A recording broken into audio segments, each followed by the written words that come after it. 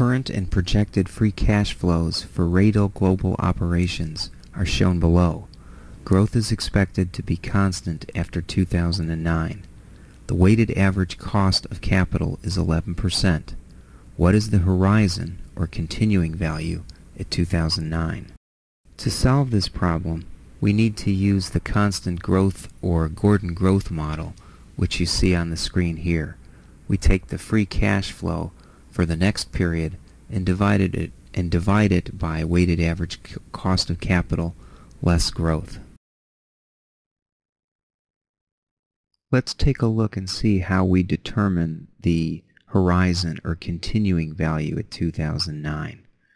Alright, we start off with the change in free, free cash flow from 2009 to 2010. Let me bring that to light and you'll see when I hit the F2 key it's the $750 of free cash flow projected in 2010 less the $707.55 of free cash flow projected in 2009. Um, then we drop in what the base period is, which is 2009, and that was the 707.55.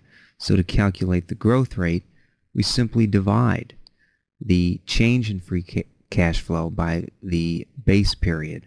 And when we do that, we come up with 6% as a growth rate from 2009 to 2010. I see we have an extra zero here. Let me get that off.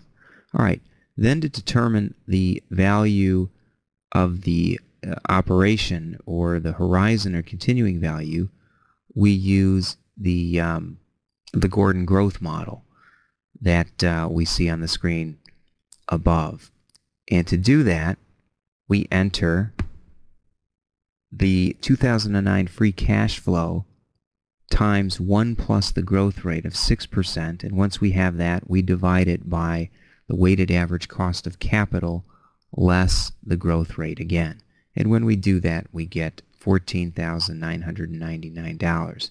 Now, then you see I sort of went to some great pain to calculate 707 times 1 plus 6%.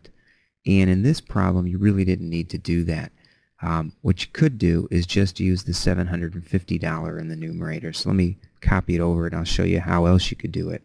Just take the $750 since it was given as the free cash flow for 2010 and divide it by the 11% minus the 6% um, rate to calculate the horizon or continuing value, which is equal to 14,999 or uh, pretty near 15,000.